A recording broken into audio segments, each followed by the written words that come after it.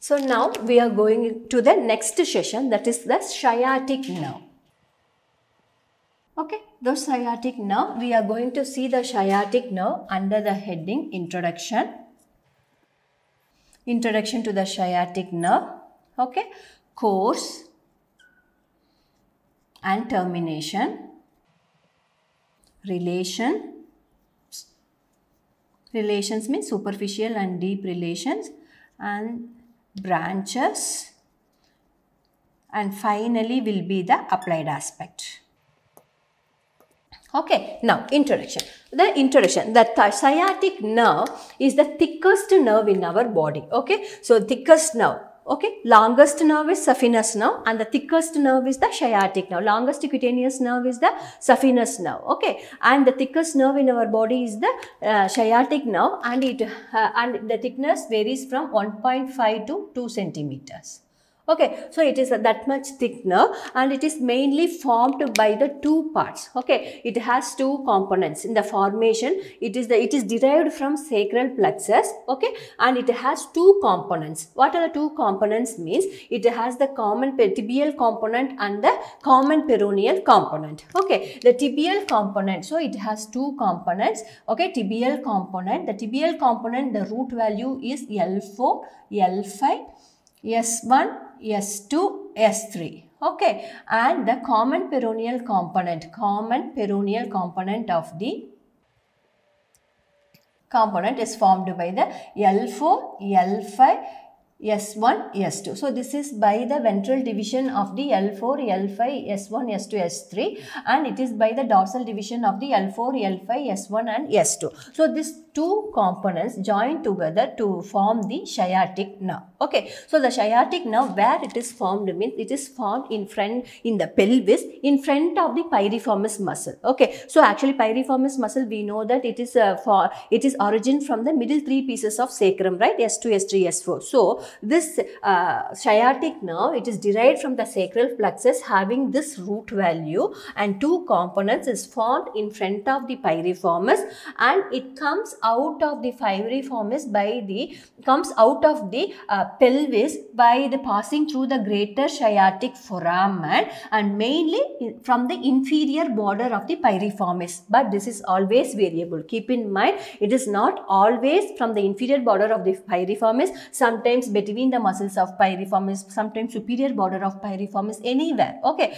But commonly most often we will get from the inferior border of the piriformis. So formation so okay. So it is it has two components with its with this root value formed from the sacral plexus and it is seen in front of the piriformis comes out to the gluteal region via the greater sciatic foramen.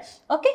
Greater sciatic foramen at, at the lower border of the piriformis. Okay, so once it comes out of the piriformis, it runs over the dorsal aspect of the okay ischial bone, body of the ischium, and the dorsal aspect of the body of the ischium with the lateral convexity. Okay, with the lateral convexity, it runs okay it runs and it runs in the gluteal region comes out of the gluteal region at the lower border of the gluteus maximus. We know that this is the outer border right? So it comes out at the lower border of the gluteal uh, maximus into the posterior aspect of the thigh and it reaches up to the superior border of the superior angle of the popliteal fossa. So, we will have the popliteal fossa, right? So, it reaches the superior angle of the popliteal fossa where it divides into its two component. So, the so the medial component that is this is the tibial component this is called as tibial nerve okay this is called as the tibial nerve and the lateral component is called as the common peroneal nerve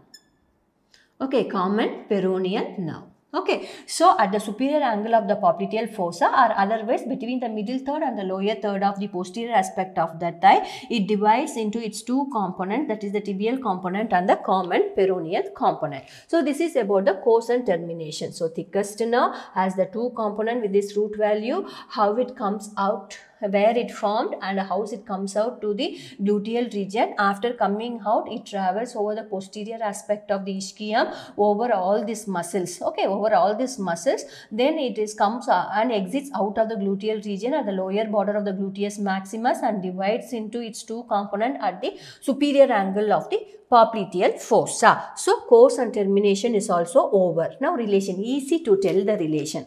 What is the superficial relation? The superficial relation will be the gluteus maximus and here one more muscle that is the biceps femoris that is formed will also cross. Long head of biceps femoris will be crossing it superficially. Okay. So, the two muscles that is crossing superficially the sciatic nerve is tumor okay so uh, relations we are we are superficial deep so the muscles that cause the gluteus maximus superficial uh, sciatic nerve superficially are gluteus maximus gluteus maximus and the long head of biceps femoris.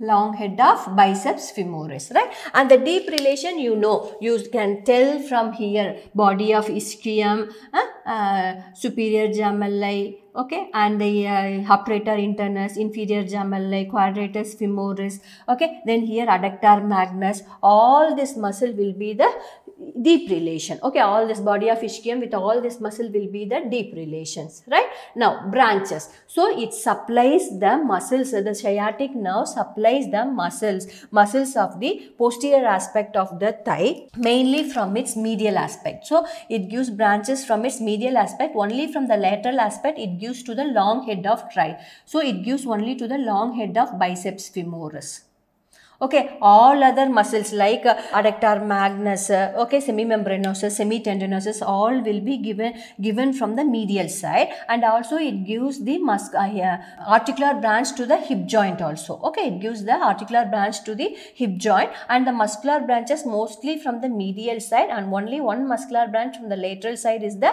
long head of biceps femoris. Okay so the which side is safer means we know that lateral side of the sciatic nerve is safer Okay, and what is its applied aspects? The applied aspect is nothing but if we sit on a corner of the chair, okay, for long time, the part of the sciatic nerve between the lower border of the gluteus maximus and the biceps femoris, no, this part will be compressed in the corner, wooden corner, okay, wooden chair or a steel chair, whatever, and it reaches to the paresthesia of the foot below that, okay, paresthesia of the leg and the foot, that is called as sleeping foot. Okay, that is the important applied as a paresthesia uh, is due to the compression of the sciatic nerve for longer time. Okay, that is called as the sleeping foot. Okay, this is about the sciatic nerve.